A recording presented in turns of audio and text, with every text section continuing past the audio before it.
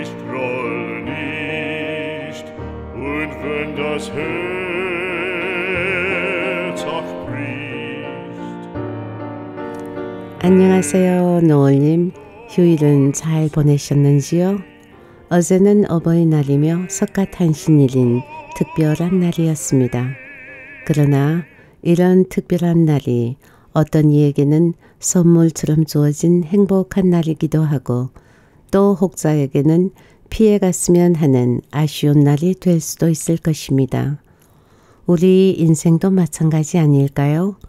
똑같은 상황인데도 때로는 행복감을 느끼다가도 어떤 때는 허망함을 느끼기도 합니다. 그래서 행복과 불행은 마음에서 오는 것이고 글자 한자 차이라는 말도 있습니다. 그러나 그것은 모두 건강할 때 이야기입니다. 건강을 잃으면 모든 것을 잃게 되겠지요. 우리 노을님 정도면 이제 건강의 중요성을 그동안의 경험으로 비춰보아 잘 아실 것입니다. 늘 생활 안전이나 건강 검진 등에 소홀하시지 말고 건강 유지하시기 바랍니다. 아버지, 이제 중반을 넘어서 다섯 번째 이야기입니다. 오늘은 개요를 미리 말씀드리지 않겠습니다. 지난 4회까지 우리 노을님들이 함께 하시며 한정수 씨에 대한 안타까운 심정과 응원의 마음을 담아 많은 댓글로 남겨주시고 계십니다. 비록 정수 씨가 마지막 길을 가고 있다지만 노을님들의 그 따스한 마음에 적잖은 위안을 받을 것입니다. 그럼 오늘도 책과 함께 새로운 한 주 여유롭게 시작하십시오.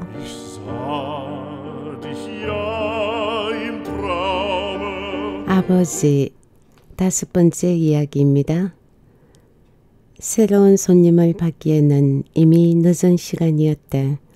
그럼에도 남박사를 알아본 마담은 너무 늦지 말아달라는 부탁과 함께 뒤늦은 상차림을 주저하지 않았다. 어느새 남박사의 눈가에는 노여움이 가득했다. 아무리 생각해도 정수의 그 위험한 도발에는 무언가 다른 까닭이 있을 듯 싶었다. 단순한 죽음의 반발로 혹은 지난 평범한 삶에 대한 아쉬움만으로 그 엄청난 혼란을 자초할 친구가 아니었다. 이미 그에게는 그것이 엄청난 혼란이 되고 있었다. 조금 전 정수는 스스로 말했다. 아무래도 스쳐 지나가는 바람이 아니라 머무는 고요인 것 같다고. 결국 정수는 집요한 남박사의 추궁에 감춰두려고 했던 딸 지원의 편지 내용을 털어놓고 말았다. 비겁한 변명이라는 스스로의 자책으로 딸 자식을 감싸며 그때 한복을 입은 아가씨가 문을 열고 들어왔다. 미안하지만 소령이란 아가씨를 불러주시겠소? 굳은 표정의 남박사가 막 들어온 아가씨에게 정중히 말했다. 지금 손님 방에 있는데요. 그녀는 몹시 언짢은 기색이었다. 아마 자신에 대한 거부로 생각한 모양이었다. 언짢게 생각지 말아요. 특별한 볼일이 있어서 그 아가씨를 찾는 거니까. 그리고 곧 일어날 거요. 미안한 투의 말과는 달리 남 박사의 표정은 여전히 굳어 있었다. 그것은 마음속의 노여움이 풀어지지 않았기 때문이었다. 그 편지 좀 보자. 그녀가 문을 닫고 나가자 남 박사는 기다렸다는 듯이 말했다. 못하게 대충 그런 내용이었어. 어쨌거나 좀 봐. 너무 화가 나서 그래. 화낼 거 없어. 내가 너무 예민해 있었어. 여기에 왔던 것도 그녀에게 감정이 끌린 것도 모두 내 나약함 때문이지 그 편지에 대한 반동은 아니야. 나약함? 그래. 너무 편하다고 느껴져서 기대고 싶었던 거야. 그동안은 모든 것을 너무 어렵게 생각했었어. 이제 곧 좋아지겠지? 그러면 이 감정도 사귈 수 있을 거야. 애써 편하게 말하고 있었지만 남 박사는 결코 정수의 감성이 그렇게 단순하지 않음을 알 수 있었다. 편안함이란 결코 그렇게 쉽게 느껴지는 것이 아니었다. 더구나 그가 느끼는 편안함은 직업적인 능숙함에 따른 편안함은 아닐 터였다.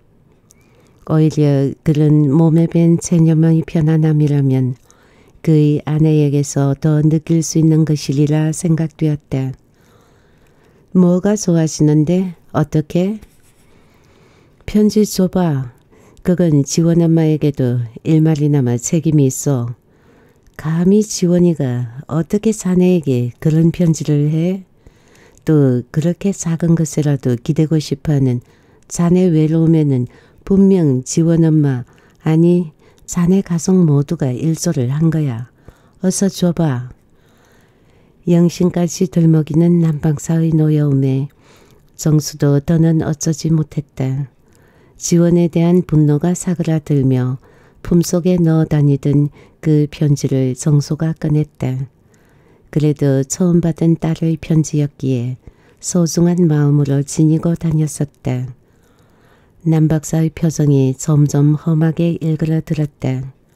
간간히 새어나오는 짧은 한숨 같은 신음이 그의 노여움을 대변하고 있었다. 그에게도 너무나 충격이었다.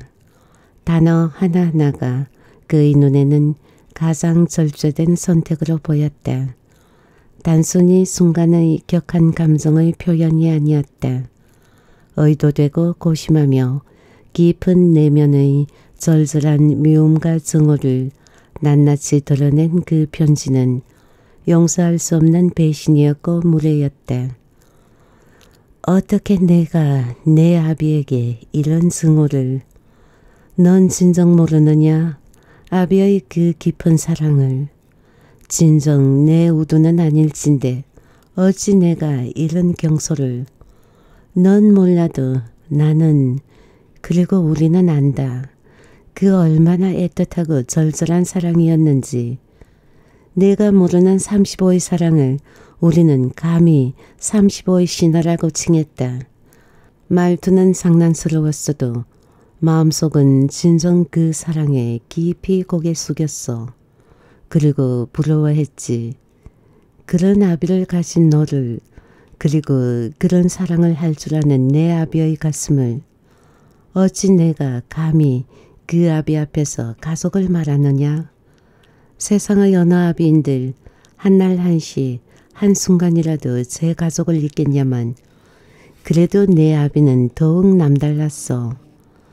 세상의 어느 누구보다도 너를 너희 가족을 사랑했고 고달픈 세상살이가 힘겨워 술에라도 취한 날이면 언제나 너와 가족에 대한 미안함을 토로했지. 특별히 성공한 인생은 아니었다 해도 비굴하지 않은 떳떳함으로 그만하면 부끄럽지 않았고 호화로운 영화는 아니어도 그만한 성실함이면 술 취한 객기에 호통이라도 한번 치련만 무엇이 그토록 미안하고 안타까웠는지 허구한 날 제 무능만을 자책했어. 나는 너를 차마 용서하지 못하겠구나. 내가 내 아비의 그런 겸손과 소심을 비난했다 해도 내 널 용서하기 어려우련만 내 감히 그 애틋한 아비의 가슴에 그토록 처절한 못질을 하다니 더구나 더구나 내 잘못은 아니다만 그 아비의 마지막 가는 길에 남 박사는 구겨 던지듯 정수를 향해 편지를 내동댕이 쳤다. 그러나 정수는 그 편지를 다시 곱게 접어 품속으로 가져갔다. 그것을 뭐하게 간직해? 처음으로 받은 딸의 편지야. 정수는 남박사의 퉁명스러움에는 개의치 않았다. 오히려 포근한 미소까지 지었다. 그게 편지야? 그럼 자네는 이런 편지나마 받아보았나? 그런 편지를 내가 왜 받아? 그런 편지라니 이건 사랑이야. 나도 처음에는 노여웠지만 다시 다시 읽어보니 그게 아니었어. 이건 아비에 대한 절절한 사랑이야. 사랑? 허참. 이봐, 그놈이 내게 그런 격렬한 단어를 사용한 건 그만큼 사랑하는 마음이 깊다는 의미야. 나도 처음에는 많이 노여워했어. 그런데 다시 읽어보니까 그게 아니었어. 특히 난 그 편지의 수신에서 그 마음을 분명히 확인할 수 있었네. 절대 후회하지 않겠다는 그 말. 그것은 이미 후회하고 있다는, 아니, 처음부터 후회하며 썼다는 의미일 거야. 그러면서도 내게 그런 격렬한 단어를 사용한 것은 그만큼 사랑의 열정이 뜨겁다는 뜻 아니겠나? 난 그렇게 받아들이기로 했네. 어찌 그의 마음이 그의 말 그대로이기야 하겠는가마는 그것이 본래 아비의 마음인 걸 또한 어쩌겠는가. 굳이 노여워하지 않으려는 마음, 미워하지 않으려는 마음, 사랑하려는 마음, 그 마음 앞에서 무엇인들 아름답지 않을 수 있겠는가. 남 박사는 그것을 어쩔 수 없는 정수의 천성이라 생각했다. 하긴 어쩌면 그 자신도 막상 자식에게서 그런 일을 당한다면 그렇게 스스로를 달랠지 모를 일이었다. 그러나 남 박사의 눈에 정수의 모습은 스스로의 달램이나 위안이 아닌 진정 그렇게 녹여버린 따뜻한 사랑의 아름다움으로 비춰졌다. 특별히 깊은 인연이라도 있어서일까. 남 박사의 그 노엽던 마음이 다시 평온을 찾은 뒤 소령이 살포시 문을 열고 들어섰다. 그녀는 망설임 없이 정수의 곁으로 다가가 앉으며 인사를 했다. 늦어서 죄송합니다. 이소령입니다. 어허, 난 나비가 꽃을 찾는다는 말은 들었어도 꽃이 나비를 찾아가는 건 처음 보는데 두 사람 연인 사이야? 그렇게 보이실 정도로 어울립니까? 남박사의 짓궂은 농담에도 소령은 태연했다. 오히려 정수의 얼굴이 부끄러운 듯 붉어졌다. 낯선 얼굴은 아니었다. 그전에도 몇 번쯤 좌석을 함께한 적이 있는 것 같은 얼굴이었으나 뚜렷한 기억은 없었다. 그만큼 독특한 개성이 있는 것도 빼어난 미인도 아니었다. 그럼에도 정수가 그녀에게 깊은 감성을 느끼는 까닭은 무엇일까? 남 박사가 그 이유를 찾아내는 데는 그리 오랜 시간이 필요치 않았다. 직업적인 익숙함인지는 몰라도 그녀는 남 박사의 시선이나 짓궂은 농담 따위에는 전혀 개의치 않았다. 그렇다고 그렇게 별스러운 티를 내는 것도 아니었다. 태연스러움에서 우러나는 편안함, 몸에 배인 섬세함, 그리고 드러나지는 않았지만 찾으면 눈에 띄는 살가운 정겨움, 그럼에도 조금 더 거북하거나 천박스럽게 느껴지지 않는 품위. 남 박사는 그것을 열정이라 생각했다. 그것도 아주 담담한 열정, 자신의 삶에 대한 확고한 자신감, 그리고 순수, 그것을 바탕으로 한 깊고 뜨거운 열정이었기에 드러내지 않아도 진실이 보였다. 비록 잠시 순간의 격정이라 하더라도 결코 스쳐 지날 치기는 아니었다. 분명 그것은 영원히 간직될 어느 한 단원의 삶이었다. 격정이어도 뜨겁지만은 않은 절제가 있었기에 아름다운 열정일 수 있었다. 그리고 그것은 사랑이었다. 흐뭇한 자리에서의 시간은 너무나 빨랐다. 몇 마디 나눈 것 같지도 않은데 벌써 영업이 끝날 시간이었다. 남 박사는 계산을 핑계로 슬그머니 자리를 떴다. 단 둘만의 자리가 정수에게는 몹시 어색했다. 전화라도 한번 드릴까 하다가 불편하실 것 같았어요. 지금까지와는 달리 소령도 매우 수줍은 기색이었다. 아니요, 불편하기는. 그보다 그날 미안했어요. 무슨 뭐가 미안했다는 말씀이세요? 의외로 소령은 정색을 했다. 아마도 정수의 말뜻을 오해했거나 아니면 자신의 짐작을 확인해 보고 싶은 모양이었다. 아, 아니요. 그날 퇴근하고 다시 가볼까도 싶었지만 아무래도 나왔을 것 같았어요. 미안해요. 호텔에서요? 정수가 의식적으로 회피하고 있는 그 단어를 소령은 태연하게 말했다. 아, 예, 예. 정수의 얼굴이 다시 화끈 달아올랐다. 반면 소령의 표정은 환하게 밝았었다. 사실 그녀는 정수의 미안이 무사내들의 그것처럼 회피와 교만을 뒤에 감춘 채 정의 표시라고 들이미는 계산 속을 말하면 아닐까 우려했던 것이다. 괜찮아요. 그 다음날 아침까지 그곳에 있기는 했었지만 오실이라고는 기대하지도 않았어요. 미리 말씀드렸잖아요. 선생님 냄새 모두가 제 몸에 뵐 때까지 있는다고요.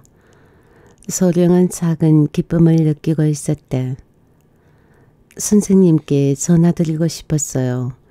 그런데 아무래도 다시 오실 분 같지가 않아서 괜한 부담이 될까봐 전화 걸지 않았어요.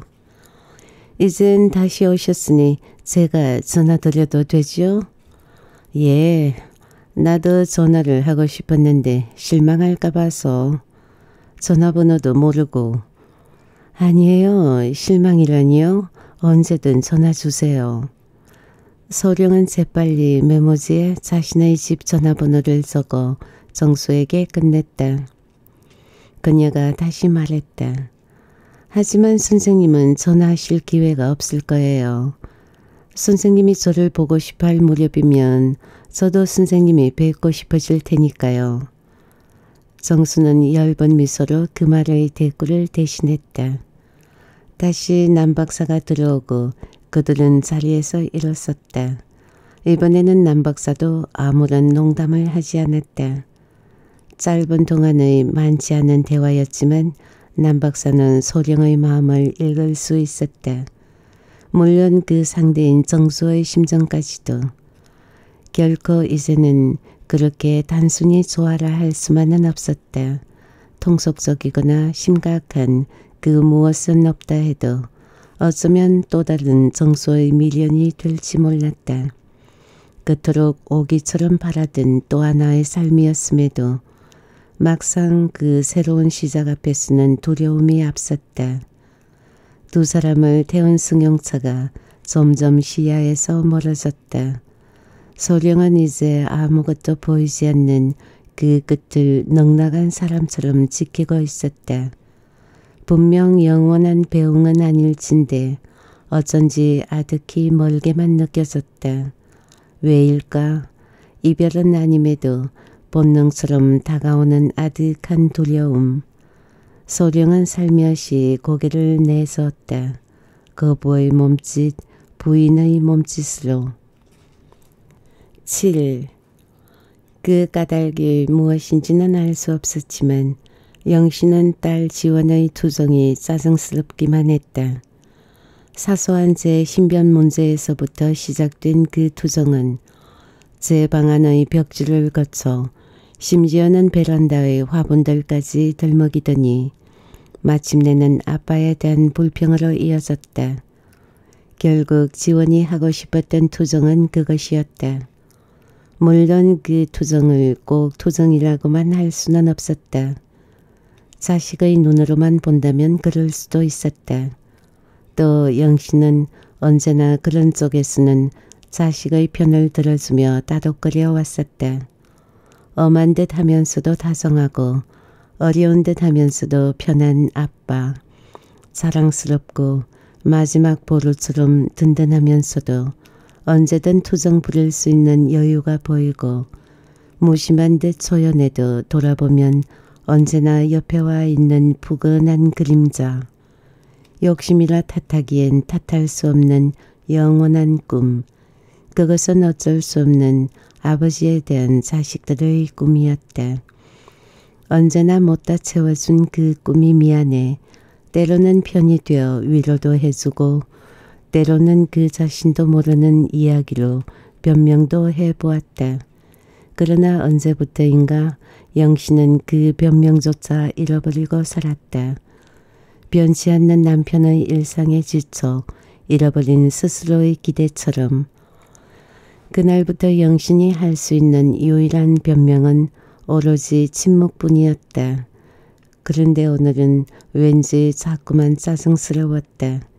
그렇다고 남편을 이해하는 것은 아닌데도 어쩐지 가여운 생각이 자꾸만 들었다.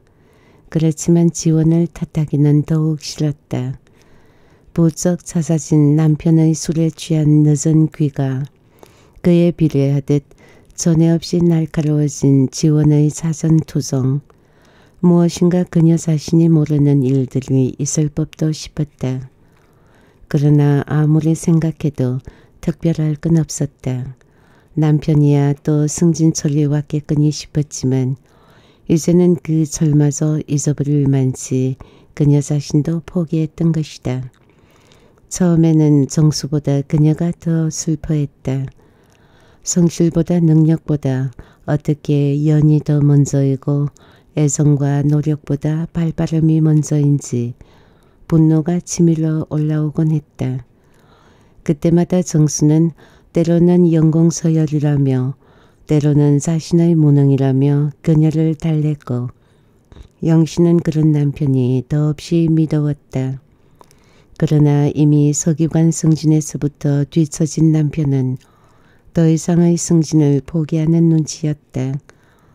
처음에는 그런 포기가 가엽고 안타까웠지만 그 어느 날부터는 점점 그것이 무능으로 다가왔다. 그럴수록 더 끈질기고 오기라도 부려보련만 남편은 너무 쉽게 모든 것을 포기했다. 그것은 허허로움도 여유로움도 아니었다. 영신의 눈에 비친 그것은 다만 비겁한 도피일 뿐이었다. 천성의 버릇대로 책과 더불어 살면서도 정수의 손에서는 유물학이나 고고학과 같은 자신의 업무와 관련된 서적들은 점점 멀어졌다. 반면에 소설이나 시집 따위의 대중 읽을 거리들은 수시로 책장을 메워 넘쳐났고 영신은 그 넘쳐나는 책들을 정리할 때면 남 모르는 가슴앓이를 해야 했다. 먼지 쌓인 전문 서적들을 고집스레 책상 속에 쌓아두며 남편의 그 잃어버린 욕망과의 보이지 않는 실랑이를 한 것도 한두 해가 아니었다. 그러나 그 작은 몸짓들은 아무런 소용도 없었다. 정수는 끝내 놓쳐버린 욕망을 건져 올리지 못했고 이제는 모든 면에서 평범한 일상만을 걷고 있었다. 언제부터인가 자정이 넘어 술에 취해 들어온 정수는 흔한 대중가요의 노랫가락을 흥얼거리더니 요즘 들어서는 낡은 레코드의 헤비메탈 곡을 반복해 듣기까지 했다. 영신은 그런 작은 변화 하나에도 삶의 공허를 맛보고는 했다. 엄마, 오늘도 봐. 벌써 12시잖아. 잠시 조용하던 지원이 시계의 뻐꾸기 울음소리에 다시 불평을 늘어놓기 시작했다. 나도 듣고 있어. 그만 들어가자. 이제는 영신의 음성에도 짜증이 묻어났다. 그녀는 정말 화가 났다.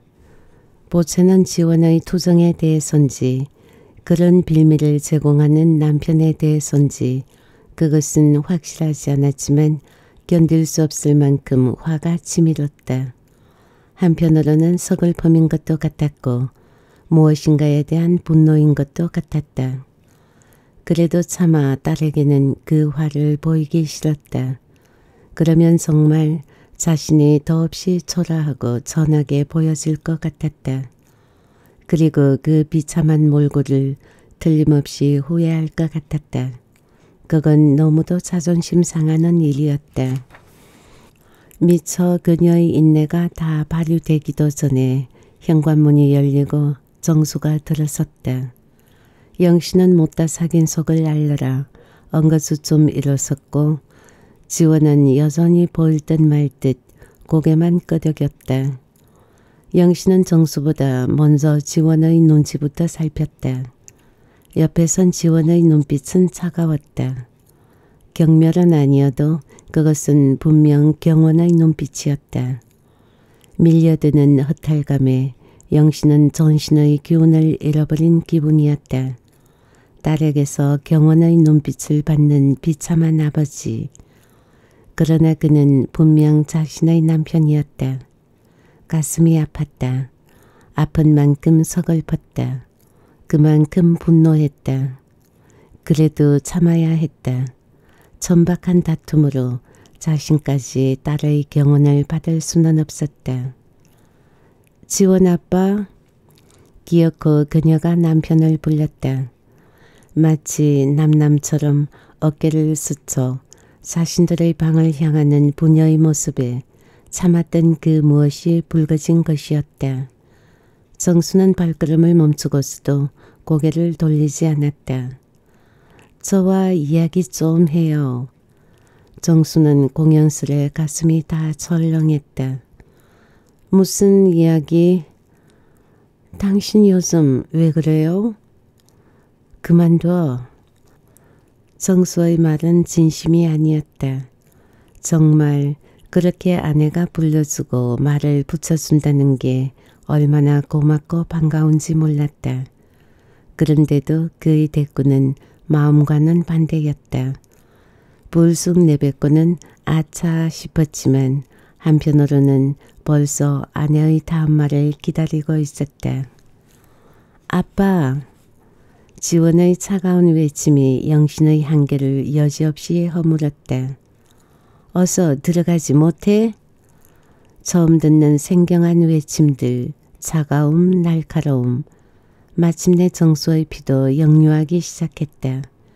지난번 지원의 그 편지가 떠올랐고 그에게는 그 모든 것들이 의도된 각본으로 느껴졌다.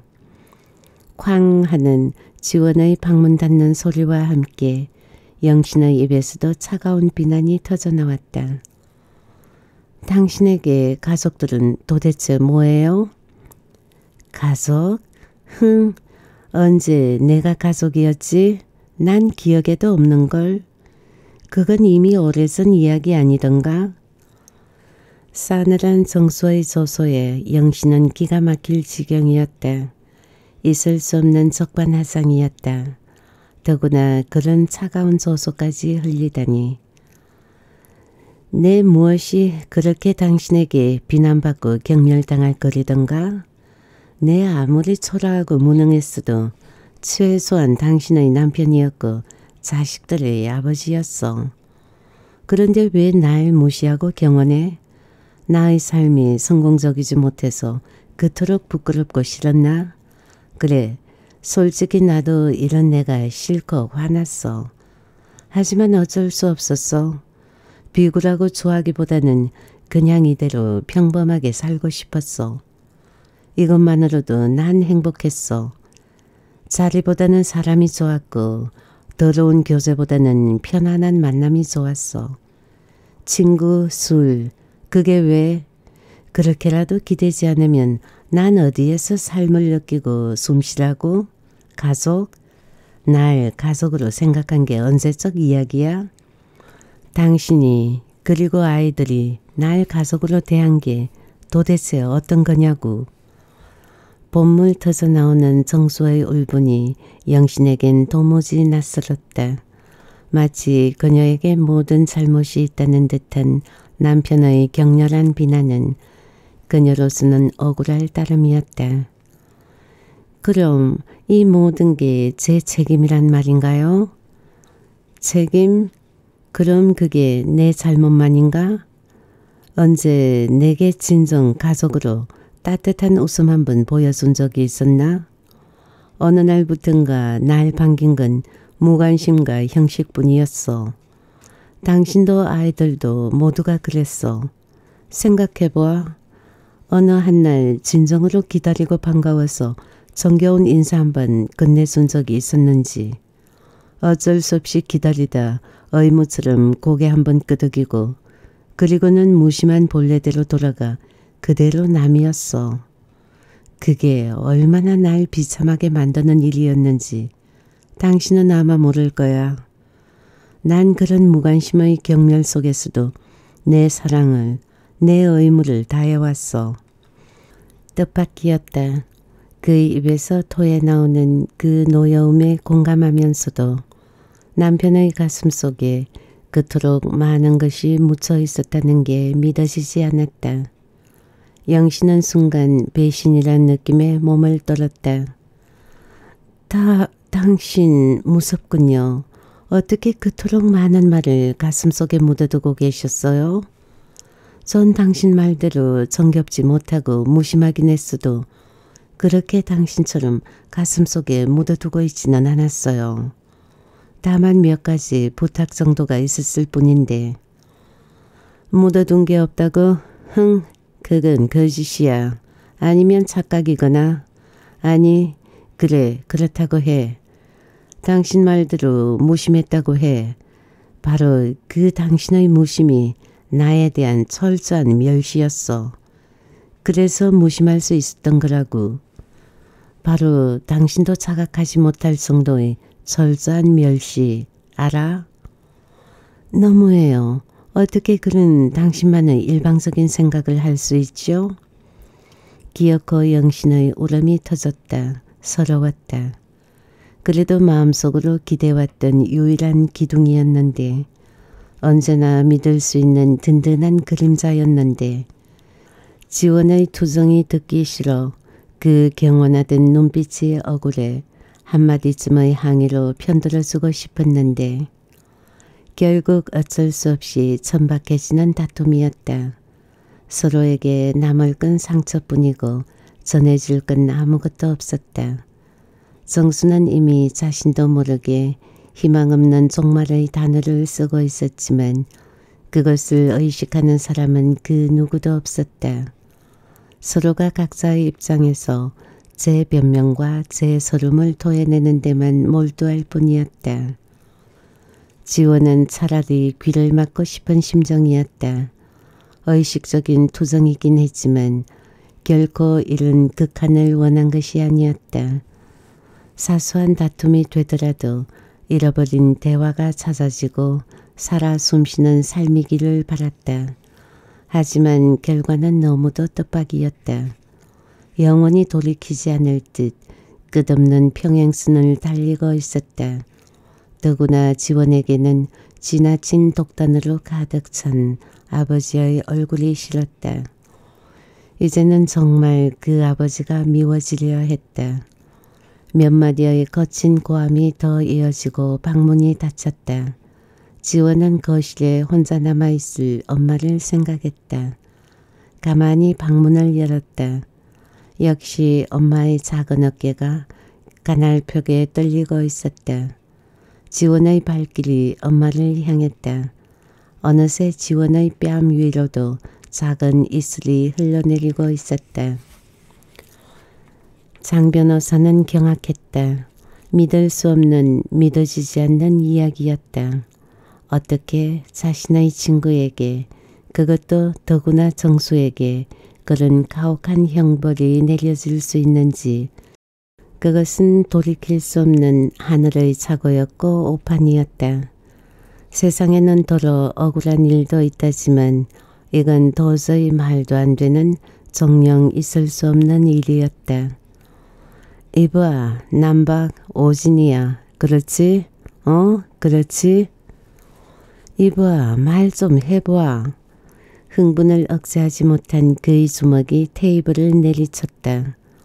미안하네. 정말이지. 나도 그랬으면 좋겠네. 왜 내가 정수에게 그런 진단을 내려야 하는지. 요즘 같아선 어사라는 내 직업에 회의가 될 뿐이네. 빌어먹을. 다른 병원에는 가보았대? 아니, 그 친구 그 짓도 안 해. 겨우 처음 며칠 도서관에 간 정도로 끝이야. 도서관이라니 의사보다 의학이 못 믿어봤겠지. 자네 나중에 오진이면 내 틀림없이 고발할 걸세. 원망 가득한 시선의 장 변호사가 이빨까지 악물고 독하게 말했다. 결국 인정할 수밖에 없는 사실이었다. 그럼에도 그것을 그대로 받아들이기는 싫었던 것이다. 남 박사의 씁쓸한 미소가 더한 안타까움을 말하고 있었다. 이봐, 그래도 무언가 바라기라도 해보아야 되는 거 아니야? 장 변호사는 그래도 미련이 남은 모양이었다. 정말 그렇게 아무 가망도 없어? 그만해. 수술, 어차피 틀린 목숨, 그런 바라기나마 내가 더 해보고 싶어. 그런데 고통만 더 줄 뿐이야. 말이 좋아 최후의 바라기지 아무런 희망도 없는 고통의 가중은 당사자에게는 잔혹한 고문이야. 그런 무책임이 어디 있어? 난 못해. 왜 못해? 그래도 혹시 다른 사람이라면 했을지도 모르잖아? 그럴지도 모르지. 하지만 정수는 내 친구야. 내겐 단 하루라도 친구의 살아 숨쉬는 삶이 소중해. 잊지도 않은 기적이라는 이름으로 행운을 기대하는 그런 뻔뻔한 만용을 친구에게 부릴 수는 없어. 오히려 친구여서 자네가 용기를 잃어버린 건 아니야? 그렇다면 그건 직무유기야. 그것도 살인의 직무유기. 차라리 내가 그 벌을 받고 싶어. 담담한 남박사의 표정은 무기력의 체념이 아니었다. 어쩔 수 없는 한계에 대한 고통의 인내였다. 그 병신 같은 자식은 무슨 지랄을 했기에 누구에게도 향할 수 없는 원망의 화살을 장 변호사는 그렇게 쏘아댔다. 그래서 타인일까 그토록 경악하던 장 변호사도 차츰 현실로 받아들이기 시작했다. 그리고 그 거부의 감성을 잊는데도 그리 오랜 시간이 걸리지는 않았다. 지원 엄마는 어때? 남 박사가 그랬던 것처럼 그 또한 정수의 아내부터 찾았다. 그것은 남아있을 사람에 대한 걱정이기에 앞서 감당하기 어려운 부담에 대한 순간의 회피라 해야 했다. 아직은 몰라. 뭐야? 정수가 원치를 않았어. 제 나름대로의 정리가 끝난 다음에 이야기하겠지 뭐. 그럼 사내는 지원 엄마와 아무런 상의도 없이 덜렁 정수에게만 그런 엄청난 사실을 알려준 거야? 미쳤군. 정수보다 자네가 더 미쳤어. 장 변호사의 어이없다는 표정에도 남 박사는 아무런 대꾸가 없었다. 이봐, 가족이 뭐야? 차라리 당사자보다 가족이 먼저 알아야 하는 거 아니야? 그래야 무언가 대책을 세울 거 아니냐고. 무슨 대책?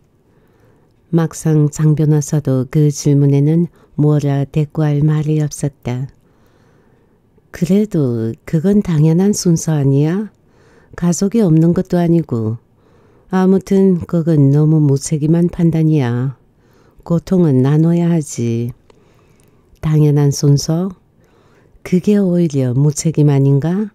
내 생각은 다르네. 장 변호사의 말을 자른 남 박사의 태도가 단호했다. 친구가 아니었다면 나도 아마 그랬을 거네. 그게 나도 편해. 하지만 상대는 정수야. 내 짐을 들자고 그렇게 한꺼번에 혼란을 줄 수는 없었어. 지원 엄마, 정수, 그 두 사람 모두가 한꺼번에 혼란을 겪는다면 어떻게 되겠어? 뻔한 결과를 확인하러 이 병원 저 병원을 헤매며 고통만 쌓아가다가 결국엔 아무런 정리도 준비도 못한 채 아쉬워하며 후회하며 난 그런 서글픈 종말은 반대네. 나도 내가 잔인하다는 생각을 안 한 것은 아니야. 하지만 우리는 아니 나라면 마지막까지 이성을 놓치지 않겠네. 길었든 짧았든 우리는 나름대로 뚜렷하고 소중한 인생을 살아왔어. 그 긴 질곡의 삶 속에서 우리 모두 몇 번쯤은 자살을 생각해 보았을 거야. 그게 왜였겠나? 단순한 힘겨움이나 고통에 대한 도피로 난 아니라고 보네. 그건 아마도 그 순간마다의 제 무너지려는 자존심을 지키기 위한 마지막 보루로였을 거야. 지금도 마찬가지라고 생각하네. 어차피 인생이란 한 번은 가는 거라지만 그런 시건방진 무상의 철학을 말하는 게 아니야. 인생에는 분명 마지막까지 지켜야 할 그 무엇이 있어. 그게 서푼짜리 자존심이 되었든 알량한 오기가 되었든 그거나마 지키지 못한다면 우리네 인생이 너무 가엽지 않겠는가?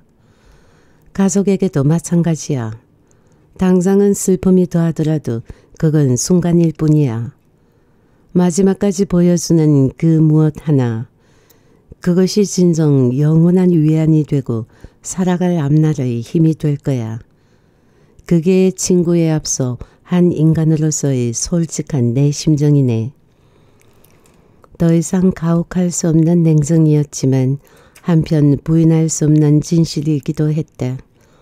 누구나 그런 이성을 욕심내면서도 막상 어느 고비에 쓰는 대부분 포기하는 쉽지 않은 절대향. 그것은 육신의 고통과 더불어 정신의 고독 때문일 것이다. 스스로 추함을 느끼면서도 섣부른 동정에 기대어 위안받고 동정받고 싶어하는 나약함. 그것의 근원은 그 고통과 고독을 지켜줄 누군가가 없기 때문인지도 모른다. 남 박사는 스스로 그 악역을 자임하고 있었다. 잔인해도 가혹해도 어줍잖은 동정으로 곱디고 온 한 인생의 마지막을 질식시키느니 그 힘겨운 투혼을 곁에서 지켜주고 싶은 것이었다. 그것은 진정 뜨거운 우정이었고 고뇌의 결단이었다. 그래도 그 친구 인생이 너무 억울하지 않을까? 장 변호사는 긴 한숨과 더불어 넋두리처럼 중얼거렸다. 그 자신이라도 그 길을 바랐을 것이고 또한 그 악역을 마다하지 못했으리라 생각했다. 아니야. 나도 어제서야 내 생각이 그러지 않았음을 비로소 확인할 수 있었네. 어? 나도 처음에는 정수 인생이 너무 억울할 것 같아서 세상의 남은 한이라도 털어버리고 갈 미친 짓이라도 하길 바랐네. 그런데 결국 그런 미친 짓도 새로운 미련이 될 뿐이었어. 더구나 그 친구는 천성적으로 털어버리기보다는 어차피 모든 것을 안고 갈 사람이야. 장 변호사로서는 알아들을 수 없는 이야기였다. 그의 어한 눈빛에 남 박사는 매없는 실소를 흘렸다. 그 친구 바람났어. 바람이라니. 장 변호사는 더욱 알아듣지 못하겠다는 표정이었다. 역시 그에게도 정소의 바람이란 상상할 수 없는 일인 모양이었다. 여자. 바람은 그 친구 스스로의 표현이야. 뭐, 여자? 참네. 터무니없다는 웃음이었다. 그가 다시 말을 이었다. 언제부터? 아니 도대체 누구야? 심각해? 며칠 전 술집에서 만났어. 별스럽지 않게 생각했는데 의외로 심각해. 뭐야? 며칠 전? 그 친구 제주도 좋네. 웃을 일이 아니야. 이 사람아 웃을 일이 아니면 심각해 보아야 얼마나 심각하겠어? 그 친구가 유혹했을 리는 맘무고 안 그래? 그러나 남박사의 정색에 그도 오래지 않아 웃음을 거두었다. 그 여자는 정수 그런 상황 알고 있어? 어, 모르는 것 같아. 그럼 관심 두지 마라. 유산 문제는 어차피 내가 처리하게 될 테니까 염려 없고 그렇게라도 마음 기대어 잊을 것이 있어야지. 나도 처음에는 그렇게 생각했는데 이 친구 마음에 묻어안고 갈 것 같아. 그건 공연한 기우야. 잠깐이야. 곧 돌아와 두고 봐. 분명 그건 그렇게 되어 있어. 글쎄 그랬으면 좋겠는데. 장 변호사의 낙관에도 남 박사는 여전히 염려하는 기색이었다. 오늘 저녁에 정수와 같이 그 집에나 가보자. 멀리 하는 게 좋을 것 같은데 아니야. 요즘 젊은 친구들 의사 표시가 확실해서 보고 싶으면 먼저 연락하기도 해. 첫 만남으로도 사랑을 느끼면 당장 확인하기도 하는데 그렇게 멀리 간다고 멀어지지는 않아. 괜한 그리움을 주는 이보다 가까이서 보며 남다르지 않다는 것을 깨우치게 하는 게 나아. 그럴까? 그 아가씨 그렇게 가벼워 보이지 않던데? 눈빛이 진솔해 보였어. 염려 마. 그건 내가 더 잘 알아. 요즘 그런 관계의 사건 투성이야. 만약에 그렇다면 지원 엄마에게 빨리 알려줘야지. 장 변호사도 끝내는 자신이 안 서는 모양이었다. 남 박사의 염려도 그랬지만 정소의 성품으로 보아 어쩌면 사랑이란 감성을 느끼고 있는지도 모를 일이었다. 고운 성품만큼이나 모든 것을 안으려는 욕심 아닌 고집스런 소박함이 정수에게 있었다. 뭘 지원 엄마에게 알려준다고? 남 박사의 두 눈이 휘둥그레 커졌다. 소령의 일을 말하려는 것인가 싶었던 것이다. 아니, 암. 정수 병말이야. 그렇게 해. 기댈 곳이 없어서 그 여자에게 의지하는 거라면 이제 대충 마음의 정리는 된 걸 거야. 상속 문제를 물어온 것도 그렇고 어쩌면 제 스스로 말하지는 못해도 그 때문에 더 조심하며 절제하고 있을지도 몰라. 몹시 힘들고 외로울 텐데 나중에 그것 때문에 그때 그랬었구나 하는 소리 듣기 싫어서 더 절제하느라 괜한 마찰이 생길지도 모르고 남 박사도 비로소 마음을 굳힌 듯 했다. 가만히 고개를 끄덕이는 그의 표정이 어느 만큼은 짐을 덜어놓은 듯 보였다. 이제는 누구와 함께 한다는 것이 점점 두려워지기 시작했다. 오늘 저녁에도 남 박사의 연락이 있어 그곳으로 나갔던 것인데 생각지도 않았던 장 변호사까지 나와 있었다. 한때는 행정, 사법, 의사의 세 국가고시를 나란히 합격하여 고시 삼총사라는 이름으로 우정을 뽐내기도 했던 친구였지만 이제는 우정의 틀을 넘어 사람에 대한 두려움이 앞섰다. 다름 아닌 통증 때문이었다. 점점 잦아지기 시작하는 통증의 빈도가 사람과의 만남에 대한 두려움으로 이어진 것이었다. 아직은 남 박사가 준비해준 진통제로 고통을 사겨갈 수 있었지만 그 진통의 시간은 점차 길어지고 있었다. 스스로 자신의 모습을 비춰보기조차 싫은 일그러진 모습. 그 처참한 몰골을 타인에게 보여줘야 한다는 건 또 다른 고통이었다. 그나마 그런 사정을 속속들이 알고 있는 남박사가 있어 아직 뼈 실린 고독을 절감하지는 않았다. 그 앞에서는 고통을 드러내도 그렇게 수치스럽다거나 초라하게 느껴지지는 않았다. 그것은 아마도 친구라는 편안함보다 그런 일그러진 모습에 익숙할 것이라는 그리고 모든 것을 알고 있다는 감출 것 없는 해방감 때문일 것이었다. 사실 이제는 술은커녕 그 어떤 음식도 반갑지가 않았다. 소화시키지 못하는 장기능의 반역으로 그 뒤끝의 대부분은 거북함과 통증으로 이어졌다. 그럼에도 정수는 누군가와의 만남을 막연히 기대했다.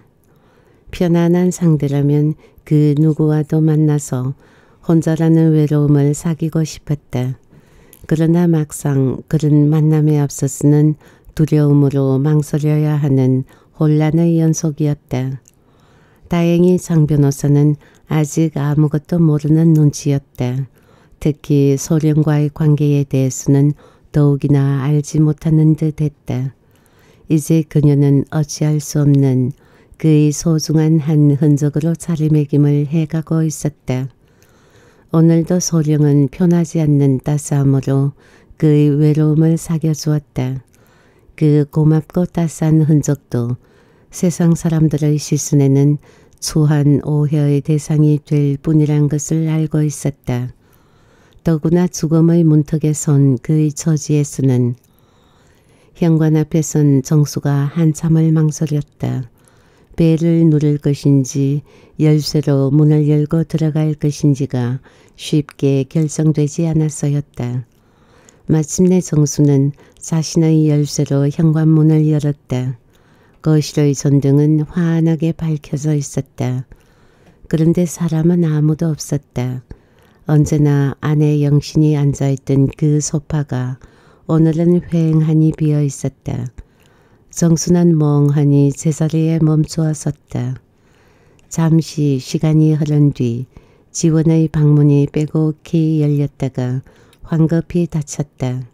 미처 얼굴을 마주하지는 못했지만 분명 정수임을 확인하고 문을 닫은 것이었다. 그것은 그에 대한 회피였다. 한편은 아내 또한 자신과의 대면을 거부해 방 안으로 숨었다는 의미이기도 했다. 갑자기 통증이 치밀어 올라왔다. 정수는 황급히 문을 닫고 집을 뛰쳐나왔다. 허겁지겁 약봉지를 꺼내 마른 입에 털어넣어 삼키며 그는 더할 수 없는 처절한 고독을 맛보아야 했다.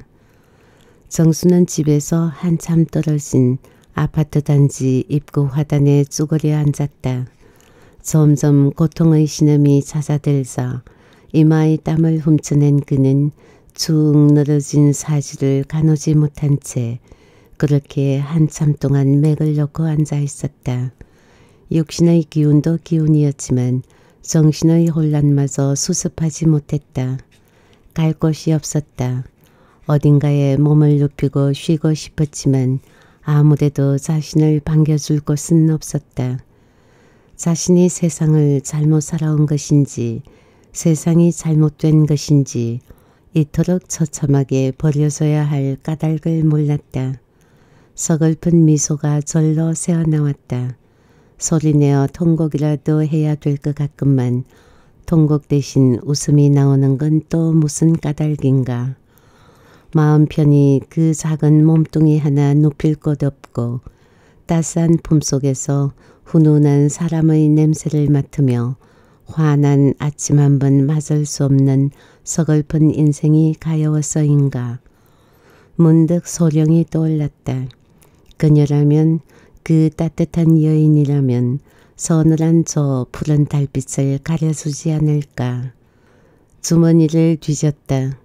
어제 그녀에게서 받은 전화번호 메모지가 아직 그대로 있었다. 힘겹게 몸을 일으킨 정수는 느릿느릿 공중전화 부스로 향했다. 그러면서도 이것이 정령 잘못된 판단은 아닌지 다시 한번 되짚으며 가능한 한 천천히 느린 발걸음을 옮겼다. 그러나 그 판단이 미처 서기도 전에 이미 그의 손가락은 번호판을 누르고 있었다. 짧은 신호음이 두 번 울리자 수화기가 들렸다. 여보세요? 맑은 소령의 목소리가 귓전을 울렸다. 여보세요. 전화를 거셨으면 말씀을 하셔야죠. 혹시 한 선생님? 그녀는 용케도 숨소리를 알아들은 모양이었다. 움찔 놀란 정수가 마른 침을 삼켰다. 한 선생님이시죠? 재차 묻는 그녀의 질문에 정수는 그만 아득한 두려움을 느꼈다.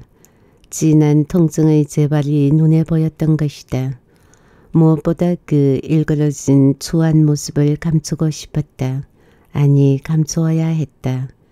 정수는 미처 그녀의 다음 말이 들리기 전에 수화기를 내려놓았다. 공중전화 부스를 나서는 그의 가슴으로 허전함과 따스함이 함께 교차되고 있었다. 아쉬움의 허전함, 그리고 자신의 숨소리까지 느껴주는 그녀의 따스한 정성, 잔잔히 흐르는 입가의 미소가 행복함인 듯도 서글픔인 듯도 하였다. 8. 싸구려 여관방이기는 했어도 모처럼 만에 맛보는 해방감 때문인지 생각과 달리 밤사이에 통증이 다시 찾아오지는 않았다. 사무실 근처 한방 찻집에서 아침 식사로 챙겨 먹은 자축도 괜찮았다. 피로감도 거북함도 오늘은 훨씬 덜했다. 정수는 급한 결제와 간단한 보고가 끝난 아침 나절부터 줄곧 생활정보지에만 매달려 있었다. 아내가 운영할 죄과점 자리를 물색하기 위해서였다. 어젯밤 그렇게 집을 뛰쳐나온 것이 단순히 치밀어 오르는 통증 때문만도 아니었지만 그래도 섭섭한 감정과 이 일과는 별개의 문제였다. 그날 밤 다툼의 언저리가 아직은 남아있을 터이니 아내가 어젯밤 거실의 소파를 지키지 않은 것도 무리는 아니었다. 정수 자신이라도 그랬을 것이다. 또한 지원의 심정도 어느만큼은 이해할 수 있었다. 생전 처음 보는 아버지와 엄마의 다툼, 고성, 어쩌면 자신의 민망스러움을 덜어주기 위해 대면을 피했는지도 모른다는 생각까지 들었다.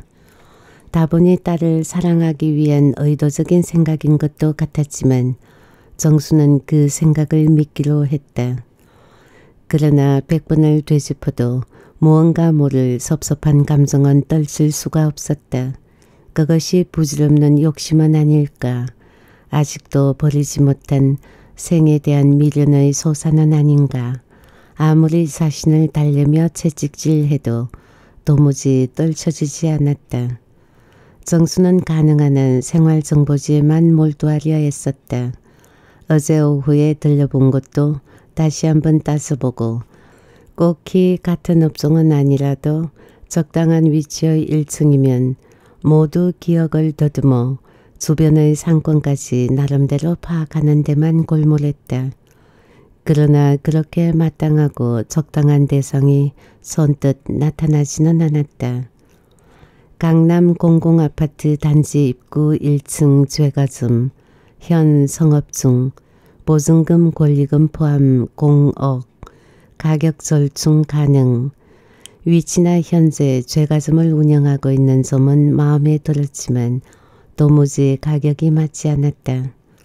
아무리 절충 가능이라 해도 처음부터 차이가 너무 엄청나 절충이 될 것 같지 않았다. 금매, 일일 매상 공만원 보상 따위의 문구로 시작되는 그만그만한 다른 것들은 대략의 위치를 더듬어 보면 너무나 터무니없음을 금방 알 수 있었다. 하긴 성업 중이고 그만큼의 매상이 보장되는 점포라면 그 헐값에 몇 주째 계속 생활정보지를 장식할 리도 만무였다. 전화벨이 울린 것은 정오가 조금 넘은 시간이었다. 다른 직원들은 식사차 자리를 비웠고 정수는 아무런 생각이 없어 자리를 지키고 있었다.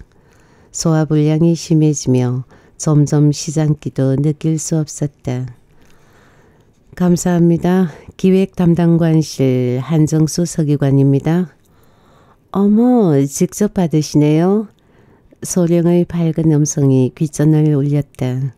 아, 잊어버렸던 어젯밤의 전화가 생각나며 정수는 미처 뭐라 숨소리조차 낼 수가 없었다.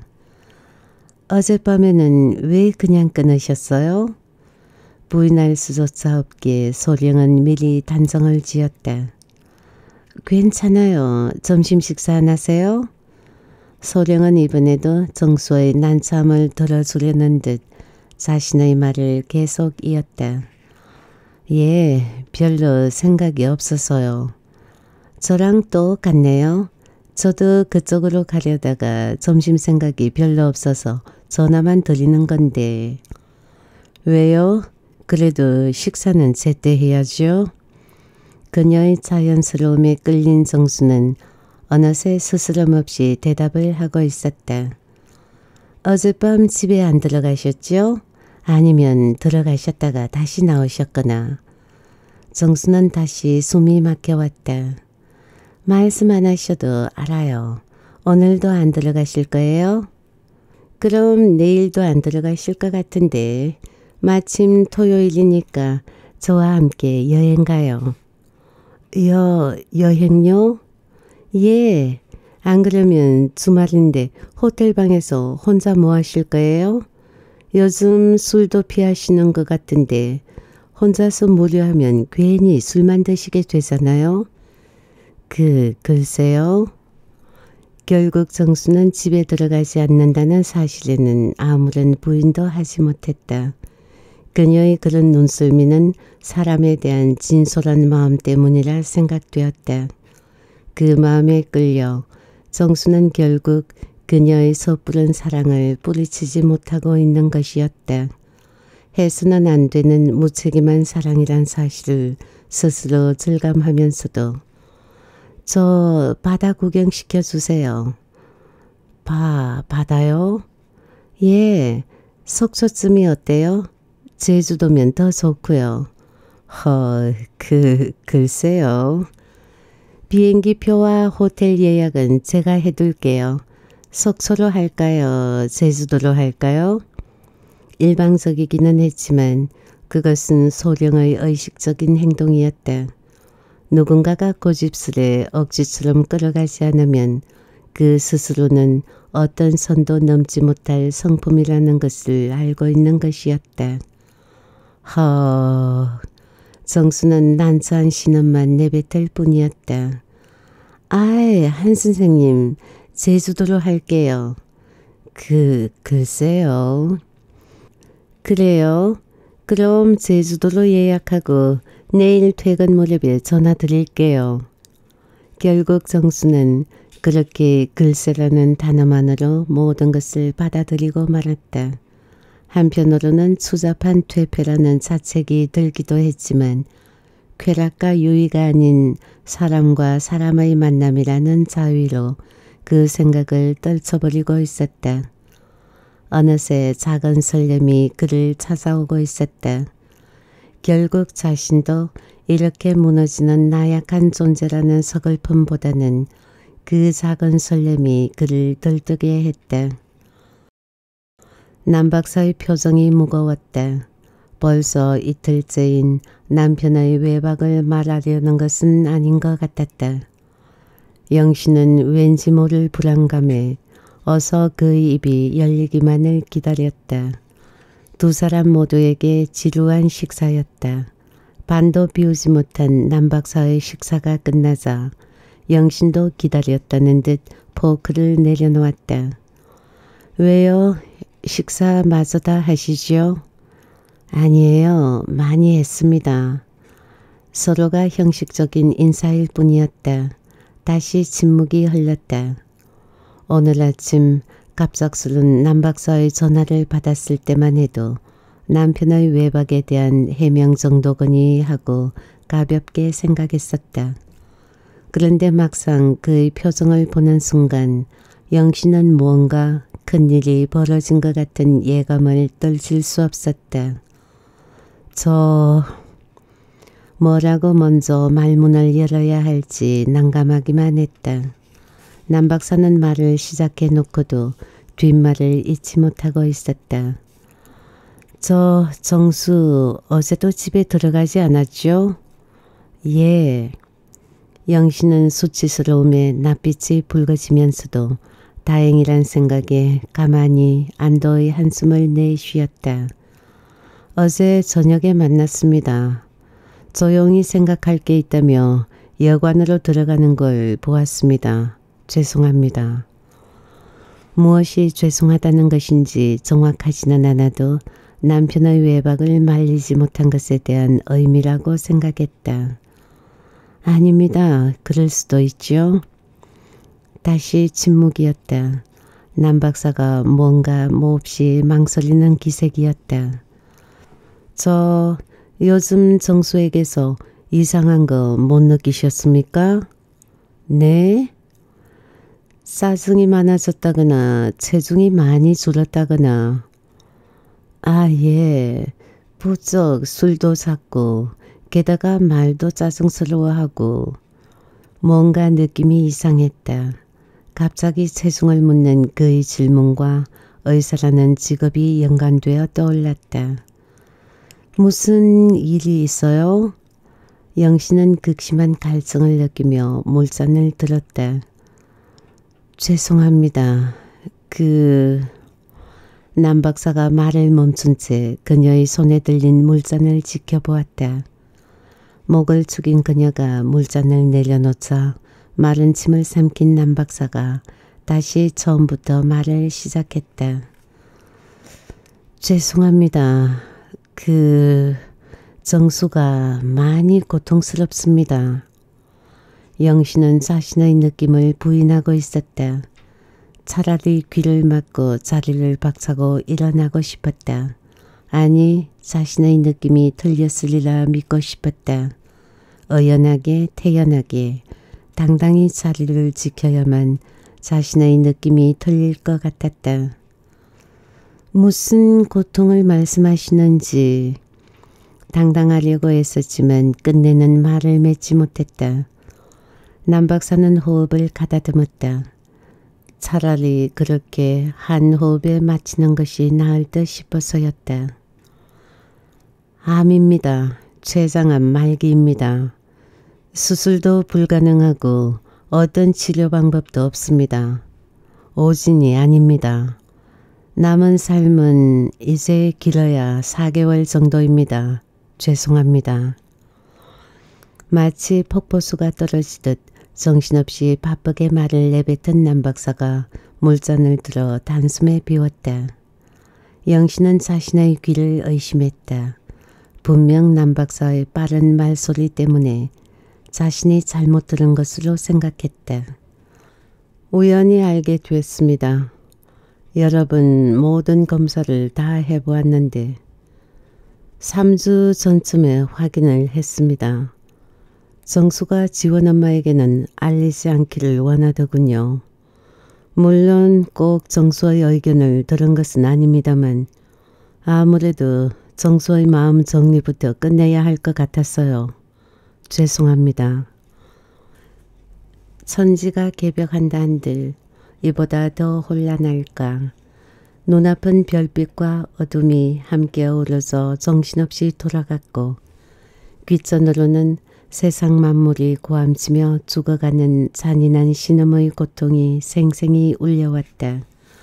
가쁜 호흡만큼 전신이 떨렸고 목은 갈라지듯 타올랐다. 아... 영신은 가날픈 신음을 토해내며 의자에 등을 기댔다. 그래도 남박사는 제자리를 꼼짝없이 지키고 있었다. 그러나 얼굴은 몹시 화난 사람처럼 벌겋게 상기되어 금방이라도 터질 것 같은 표정이었다. 쓰러지는 친구의 아내를 바라보면서도 가쁜 숨만 몰아쉴 뿐 아무런 느낌이 없는 듯한 그의 무반응은 결코 그녀의 등 뒤를 소파가 받치고 있다는 사실 때문이 아니었다. 그는 분명 화가 나 있었다. 그렇게 멍청하게 죽어가야 하는 바보 같은 친구에 화났고 의사라는 거창한 명패를 걸고서도 친구를 위해 아무것도 해주지 못한 채 멀거니 바라보고 있어야만 하는 자신의 무능에 화났고 그 고운 남편의 엄청난 변화도 제대로 감지하지 못한 채 그토록 상에 문드러지도록 내팽겨쳐둔 친구의 아내에게도 화났다. 그 딸도 그 아들도 하늘을 상대로 제대로 변론 한번 못하는 이런뿐인 변호사에게도 화났다. 우 짐승 같은 포효의 신음을 토해낸 남박사가 거칠게 탁자를 후리치며 얼굴을 묻었다. 참고 참아왔던 눈물이 신음소리에 놀라 주르르 두보를 타고 흘러내렸다. 오늘 저녁에는 안 오신다던데요. 언제 그랬소? 점심때 전화가 왔었어요. 하지만 내일은 올지 모른다고 하던데요. 묵었던 방 좀 봐도 될까요? 보면 뭐예요? 짐이 있었던 것도 아니고 청소까지 해놓았는데 여관방 다 똑같죠. 여관 송어분의 말이 틀리지 않았지만 그래도 영신의 마음은 그렇지가 않았다. 내일 또 올지 모르겠다는 말의 의미는 오늘도 집에는 들어오지 않는다는 의미였다. 그렇다면 남편의 그 안타까운 흔적이라도 찾아야만 했다. 뒤늦은 후회였지만 이제는 한순간 한 틈이 아쉽게 느껴졌다. 남 박사가 그런 그녀의 마음을 헤아려 종업원에게 힘주어 말했다. 그래도 좀 봅시다. 영신의 표정은 남 박사님 누구라도 알 수 있는 너무도 간절한 의미를 담고 있었다. 그러세요? 이틀 동안 혼자 있었어요. 전화도 한통 안 쓰고 잠만 자고 갔는걸요.